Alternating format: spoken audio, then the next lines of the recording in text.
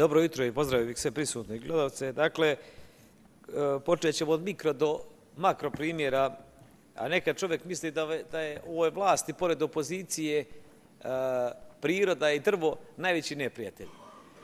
Ne znam koliko puta nismo snimili, krećujući se od mikroplana, koliko nismo snimili priloga o ekocidu i užasnim stvarima koje se dešavaju pa čak u strogom centru Trebinja.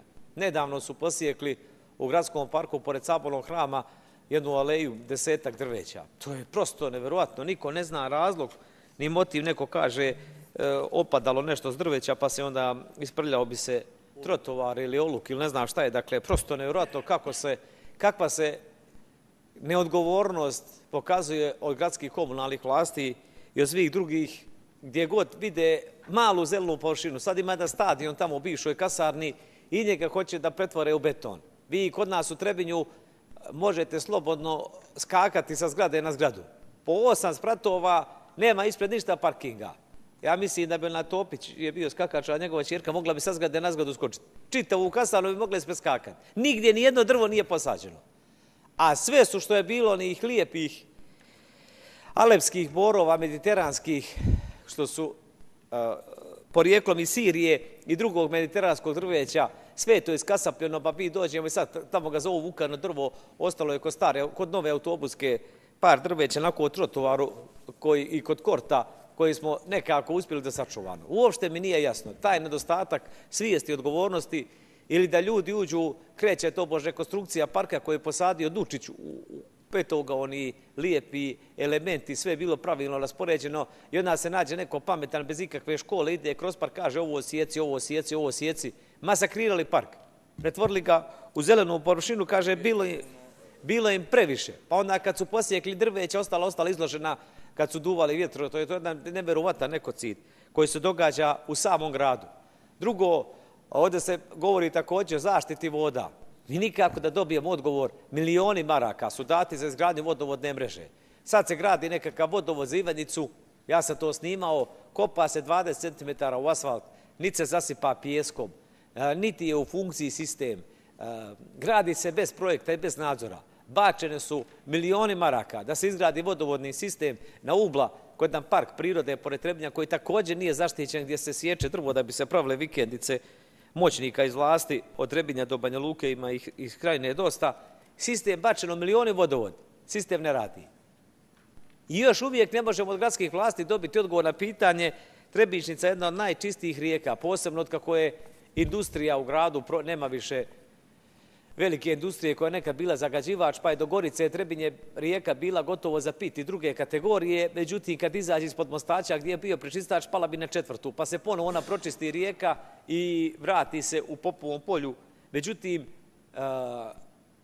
prečistač koji je švedska siga dala milione maraka je otvoren nikad, dakle, ogroman novac je uložen, a situacija je mnogo gora nego prije, puštaju se fekalije, čak su poljoprivrednici iz Popovog polja i onaj dio ravnog koji pripada federaciji tužili zbog zagađenja jer su fekalije putovale, e, fekalije tekle rijekom umjesto, umjesto vode za navodnjavanje i nije moglo, dakle, ni to što se poljoprivrede uzgajalo zbog neverovatne neodgovornosti gradskih vlasti i trebinja predvođene e, odlazećim gradonačelnikom Ćurić, doktor Mirkom, čiji će period ostati zapamćen najcrnijim slovima, čovjek je potrošio 50 miliona budžet, 8 godina, oni kum Luka, 400, 300 do 400 miliona, nemate zašta da se uhvatite, kaže, nešto završili. Ni jedna obilaznica, ni jedan most, ni jedan put, ništa.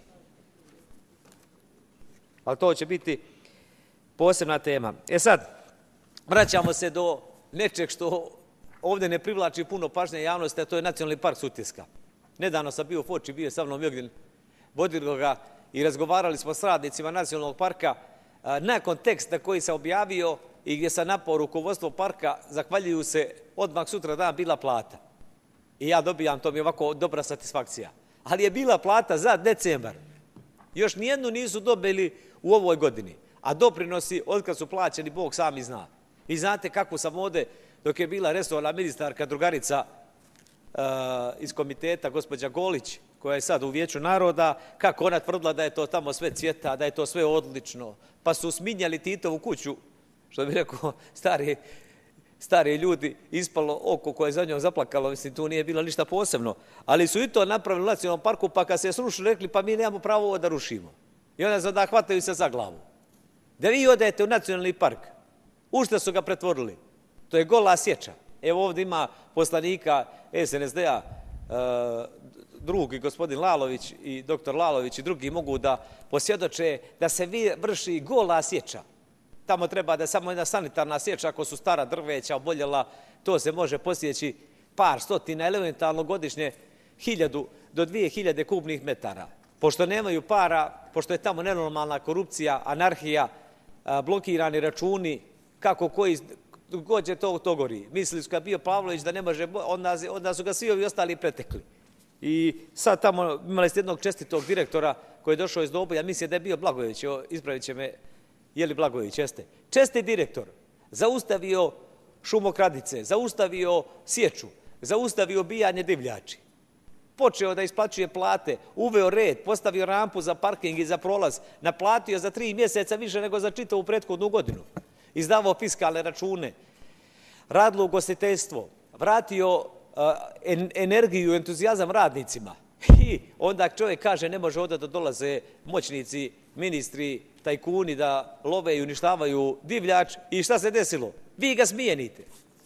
Dođe napokon pošteni normalan čovjek i počne da radi kako Bog zapovijeda, ispočne da isplaćuje plate i doprinose, zavede red i vi mu odmah slomijete glavu.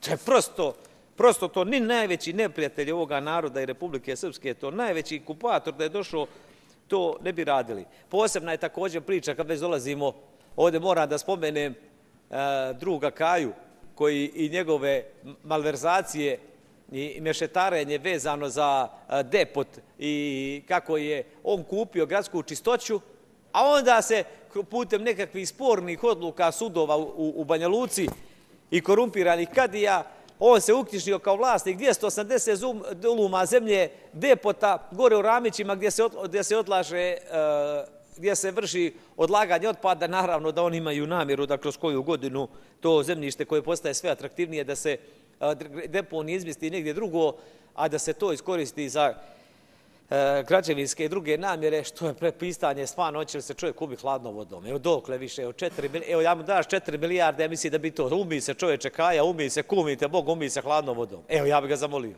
I njega i sve ostale. Koliko vam je dosta ljudi moji, koliko?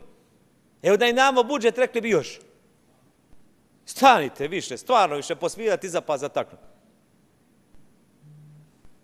A naravno nije tu sam tu je i prethodna i aktualna gradska vlast i republička, da ne nabrajemo, svi su u to umješani, e ovakvi su.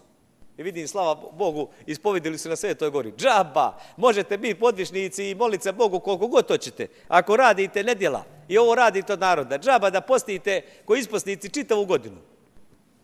Grijeh ne ulazi na usta, nego dijelima.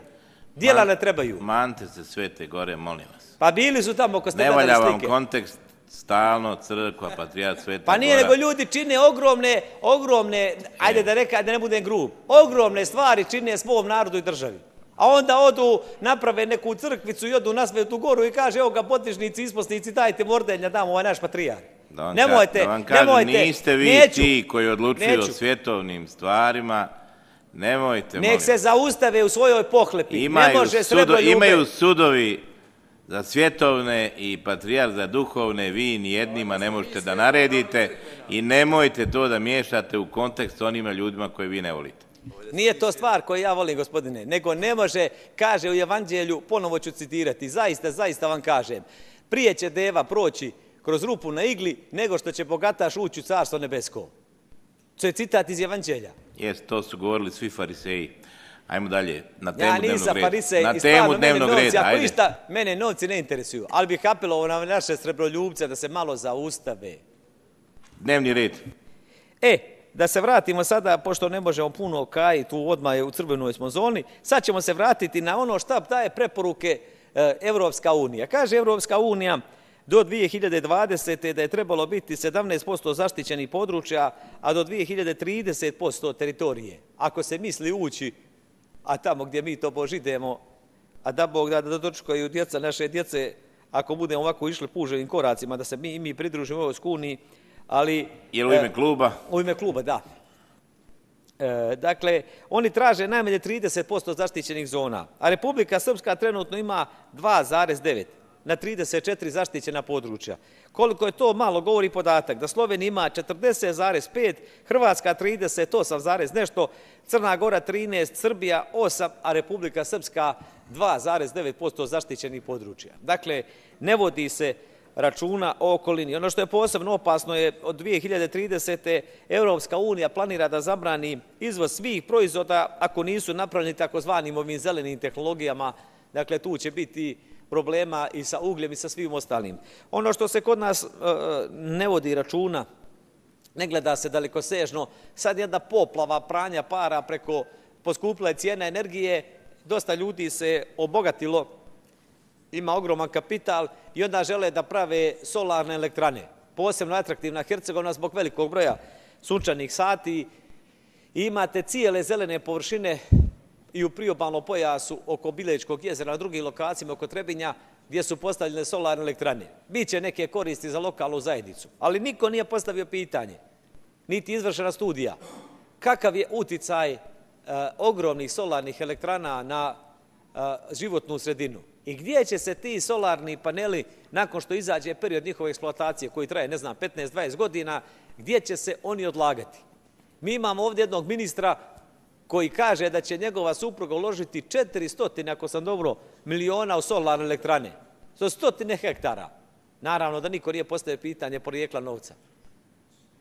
I da on tu gleda svoj profit. Ali na ministar nikad nije odgovorio. Postaje li on većinski vlasnik podrinja? Imate dijelove bijeljne, a ovdje nam mogu posvjedočiti poslanici iz, iz, iz Semberije. Koliko je njegova firma i on lično i žanovi njegove porodice koliko su stotina hektara prigrabili državnog zemljišta u klasičnom sukobu interesa, evo mogu da me demantu iz vlade ako, ako žele, imam sve podatke. Koliko je naš prvi ministar i nekada onaj prvi pakap iz 14. kupio zemljišta, zapravo oteo u priobalnom pojasu u podrinje i kakve su od toga ovaj, posljedice Posebno je pitanje o kome se ne govori u doboju u dolini rijeke Bosne, u dolini rijeke Drine i na drugim mjestima eksploatacija nekontrolisana pijeska koja pravi ogromne probleme koji sutra mogu dovesti do poplava. Ništa nismo uradili, ništa nismo naučili iz 2014. I dalje su mnoga područja nezaštićena od poplava i posljedice ovog eksploatacije nelegalne pijeska i šljunka, vađenja, uništavanja korita rijeka, promjene toka rijeke, što se ne događa na nekim mjestima, ne daje Bože, ako ponovo bude deset kišnih dana, može se dogoditi ono što nam je bivši poslanik Antonić iz vaše vlasti poželio meke nasipe da se potupe područja gdje nisu glasala za SNSD, da se prisjetimo i toga. Zadržao bih vrijeme u ime kluba e, uz, dakle, jedan apel, ovaj zakon u sve u svemu nije loš, Ali je najveći problem, tu sam, ima nekih zanimljivih tačaka, kao recimo, evo samo da se vratim, na član 3 stav 4, blagovremeno sprečavanje ljudskih aktivnosti i djelatnosti koje dovode do trajnog uništavanja biološke i geološke beznačne raznovrsnosti. Mi danas imamo uh, načine kako da se zaustavi razaranje ekološko i posljedice. Ključno pitanje na izborima u mnogim evropskim zemljama, posebno prije krize u Ukrajini, je upravo bila ekološka pitanja. Koje to je kod nas na 20. mjestu. Mi kad pričamo o ekologiji, kod da pričamo o španskim selima, to nikog ne interesuje, zato što je narod siromašan. Nema svijesti. Vlada treba da gradi svijest. A nekad idete, da ne nabrajam sve neke gradove, više ćete naći smeća oko puta nego na deponiji. Kogod ide baci iz auta gdje mu padne na pamet, nikakvi kazni nema. Nedavno sam snimao prvi maj na ulazku u Trebinje, piše za brajno odlaganje otpada, tamo istovareni pet kamiona pijeska otpada. Vidi se koja je firma, da ih sad ne prozivam. I oni dođu iz gradskih vlasti za dva sata za mnom nakon priloga, izguraju to dolju provaliju. I riješili problem, ne vidi se s puta, ali misle to je to. Narod, koji, dakle, gdje nema pravde, gdje vlada anarhija, niko ne voli onda tu zemlju, svi se ponašaju na takav maćehijski način. Kad kaže što bi ja čuvao okolinu, kad ne čuvaju u centru grada, kad cijeku u park, prave zgrade se uništiše i to se urušava, nema nikakve kolektivne svijesti vezano za ekologiju. A to bi trebalo biti jedno od ključnih pitanja. I samo ću završiti sa, jednim, sa jednom rečenicom da je Medeljin, rodno mjesto Eskobara, smanjilo temperaturu godišnju, imali problema sa vrućinama, sa 2,7 stepeni, zato što su posadili zelene transezale kroz grad. A mi poslije košmo sve.